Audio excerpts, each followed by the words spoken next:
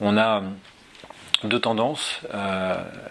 pour les régies publicitaires, les agences de publicité ou les professionnels de la publicité, il y a une demande de la part des clients, donc c'est une demande B2B, d'aller vers de plus en plus d'automatisation euh, pour de plus en plus d'efficience. Euh, l'efficience, c'est un meilleur ciblage, c'est une chaîne humaine en fait euh, qui est moins longue, c'est une plus forte réactivité et donc globalement c'est quelque chose finalement qui produit plus pour une somme équivalente ou une somme moindre. Ça c'est la demande B2B.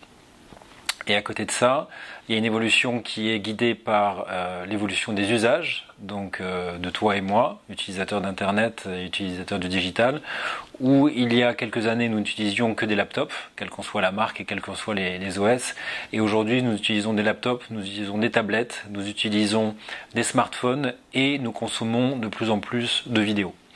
Donc on a un marché de la publicité qui va vers l'automatisation, ça c'est la demande des clients. Euh, conduite par la technologie et permise par la technologie.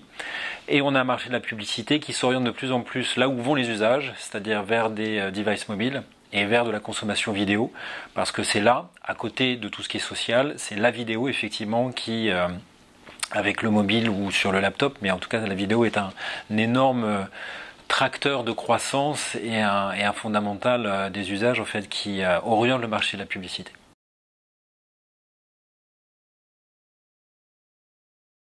Aujourd'hui, un éditeur doit être pertinent sur le display, euh, doit être pertinent sur la vidéo, doit être pertinent sur le mobile et doit être pertinent dans sa capacité à créer des opérations spéciales qui sont finalement les opérations marketing d'hier qui reviennent aujourd'hui et qui sont l'autre champ hors RTB.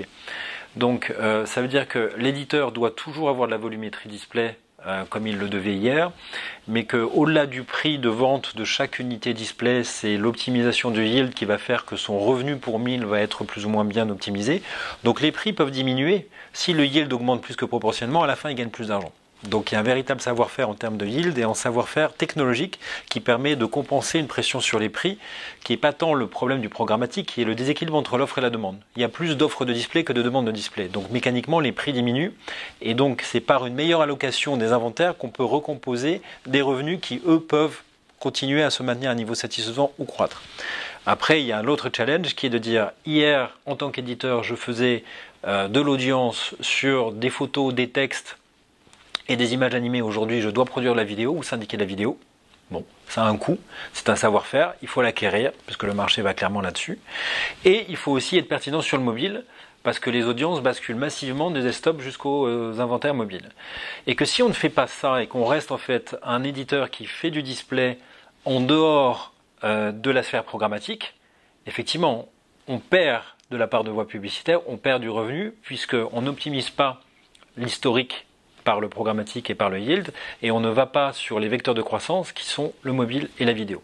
Et c'est tout l'enjeu de des éditeurs aujourd'hui, c'est l'enjeu des régies comme iMedia aussi, et c'est l'ensemble de la révolution interne que nous avons menée dans les trois dernières années, de pouvoir anticiper et accompagner ce mouvement.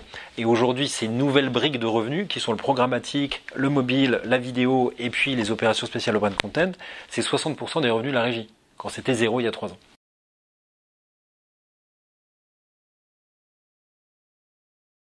On passe euh, d'une organisation en fait qui était très commerciale à une organisation qui devient technico-commerciale. Euh, donc euh, les commerciaux sont toujours les forces vives d'une régie, mais ils doivent vendre la capacité d'une plateforme à faire des choses au lieu de vendre un simple espace publicitaire. Donc le discours a changé. Et le discours autour d'une plateforme, c'est la plateforme de médias et c'est la plateforme des éditeurs que nous représentons. Donc effectivement, il y a un discours qui est devenu technico-commercial. Ça peut passer par des changements de personnes ou ça peut passer par la formation.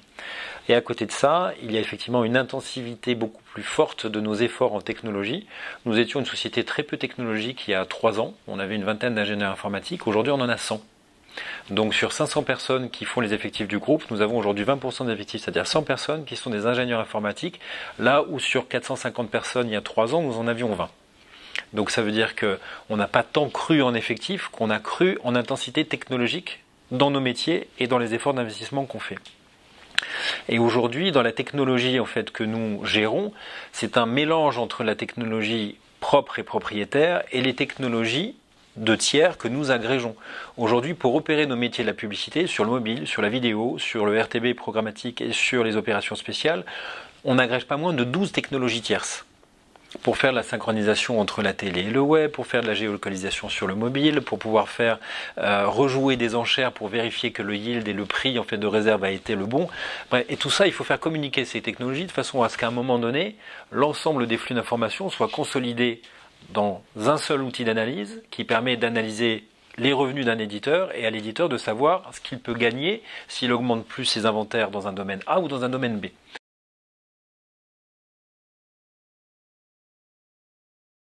que je trouve passionnant, c'est que l'économie numérique aujourd'hui, ce n'est pas simplement l'économie des médias, du divertissement, des télécoms, de la technologie, euh, c'est aussi euh, le médical, avec l'imagerie computationnelle, c'est les cycles de production industrielle avec les Fab Labs, c'est euh, du droit, c'est les smart grids et les smart cities, donc c'est le traitement des eaux, c'est le traitement des déchets.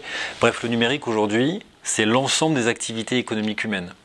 Euh, économique au sens euh, finalement euh, très business anglo-saxon, mais économique aussi au sens associatif et enseignement. Enseignement avec les MOOCs, associatif avec de plus en plus d'associations qui lèvent des fonds sur Internet, qui rendent compte de leur action en utilisant le digital comme moyen de communication avec leurs donateurs et avec ceux auxquels elles s'adressent.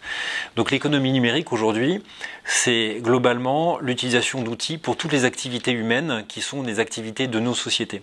Et, donc ce que je trouve en fait particulièrement stimulant au sein de l'Axel, c'est qu'elle se définit elle-même comme, l'association de l'économie numérique et que l'idée c'est d'ouvrir en fait le débat de façon très large sur quels sont les chantiers qui nous attendent demain et après-demain avec ce que va apporter le digital et le numérique en changement de paradigme sur des industries et sur des activités qui sont très éloignées du monde de la publicité, des médias et des réseaux sociaux qui ont occupé notre attention dans les 15 dernières années.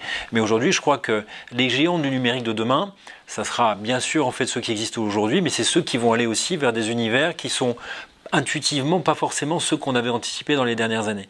Et je trouve que c'est ça le, défi au fait d'une association comme l'Axel, et c'est ça qui m'anime, et c'est pour ça que je m'étais porté candidat pour la présidence.